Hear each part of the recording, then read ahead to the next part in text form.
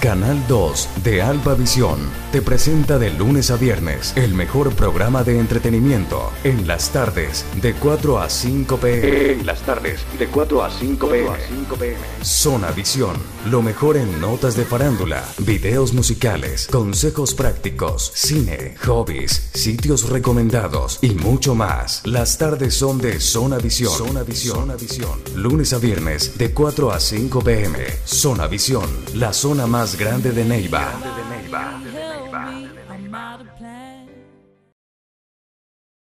I know that I love you, oh baby, why don't you see?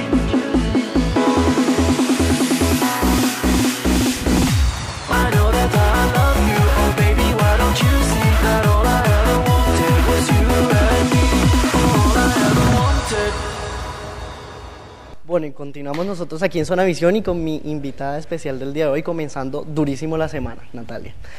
Íbamos después del, del reinado, después del concurso nacional de belleza en Cartagena.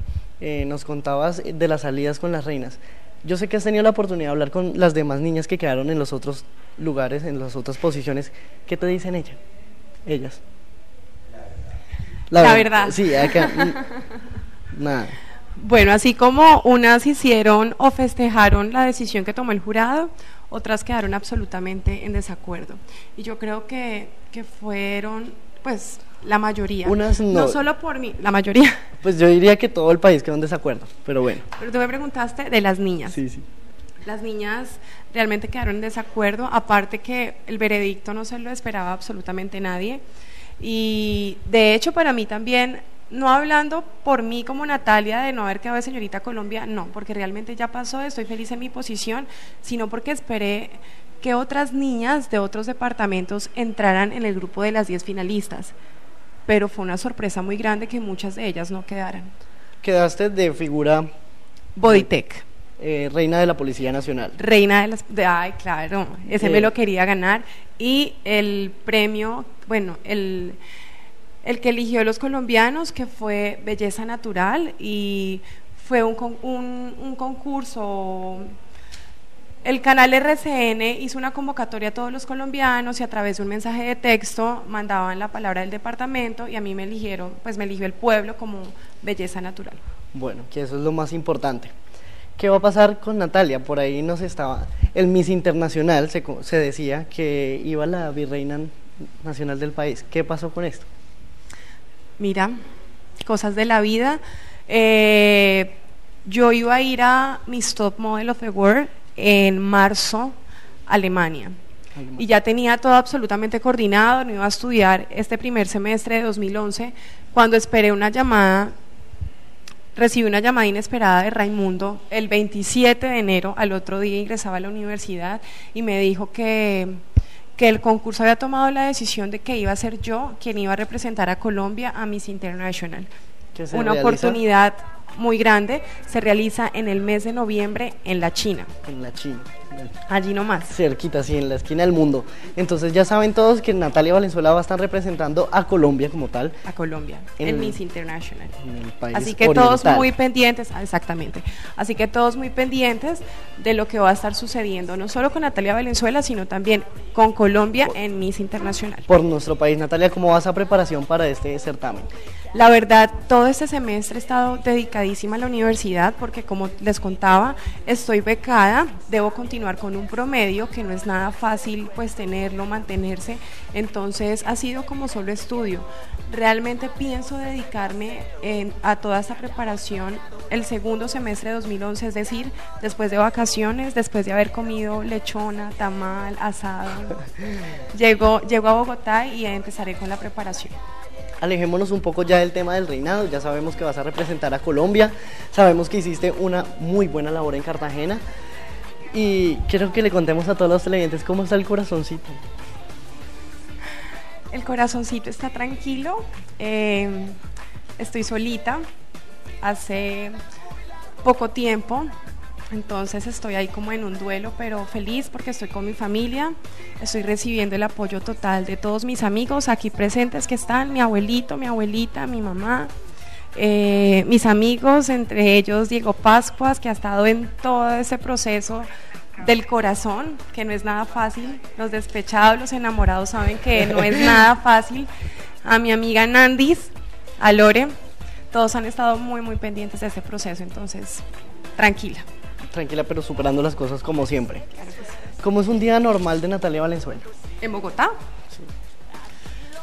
Se levanta muy temprano, se ducha con agua fría, no desayuna, siempre recibe regaño de los abuelitos porque no come bien la niña, porque no desayuna a las 5 de la mañana. Eh, tomo mi bus, me voy a la universidad, eh, siempre tengo clase de 7 de la mañana, salgo de la universidad, eh, como dos veces, o sea, una semana en todo el mes, siempre tengo fotos para un catálogo, entonces me voy luego a trabajar, cuando no me voy para el gimnasio, me voy a mis clases de inglés, es común y corriente, me veo con mis amigas, me, me, me como un helado, me tomo un café, normal. Bueno, Nata, ya se nos está acercando la hora de acabar pues, esa entrevista y te vamos a tener obviamente en San Pedro. Claro que sí, vamos a estar aquí en San Pedro, por supuesto organizando este jueves en Macarena el festival que reúne a todos los opitas, a toda esta gente opita tan linda. Vamos a tener invitados especiales, eh, vamos a, a tener una organización excelente, por supuesto el apoyo de todos los socios de Macarena y la asistencia de todo el pueblo opita, porque sé que la gente está muy animada con este proceso. Por supuesto a Diego Pascuas, que es uno de los organizadores y de los encargados de que yo esté aquí hoy en este momento. A él agradezco inmensamente. Pascu, gracias. Em, Él está por acá que le manda picos. bueno, Nata, eh, proyectos. Bueno, continuar con mi universidad, muy juiciosa. Eh, en este momento han llegado propuestas muy interesantes. Más adelante les estaré contando, no me quiero apresurar. O nos estaremos dando cuenta. Se estarán dando cuenta, de hecho, en ocho días tengo una sesión de fotos en el desierto de la Tatacoa. Me encantó, es una sesión de fotos Con para una Milena campaña López. muy grande. Exactamente, están muy informados. Sí, se filtra toda la información. Vamos a estar en el desierto. Ibis eligió como escenario al desierto de la Tatacoa, mi tierra. Me siento feliz. Están totalmente emocionadas porque vienen a aguantar calor, pero es delicioso para no hay nada mejor que sentirse en casa. Exactamente. Nata, ¿qué es lo que más te gusta de nuestro departamento?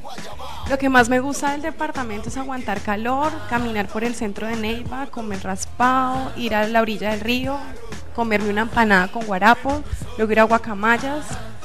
Qué delicia estar acá. Como sabemos que vas para China, si alguna de esas personas extranjeras te dice, descríbeme el Huila en muy pocas palabras, ¿qué dirías? Folclor, amor y perrenque. Perrenque. Bueno, pues esto ha sido Natalia Valenzuela. Muchísimas gracias por acompañarnos. Es la primera vez que nos acompaña, aún después de esa reina. Para envidia de todos, besitos traqueados. Ustedes no se muevan porque nosotros seguimos acá con la mejor información. Videito musical para que descansen un poco.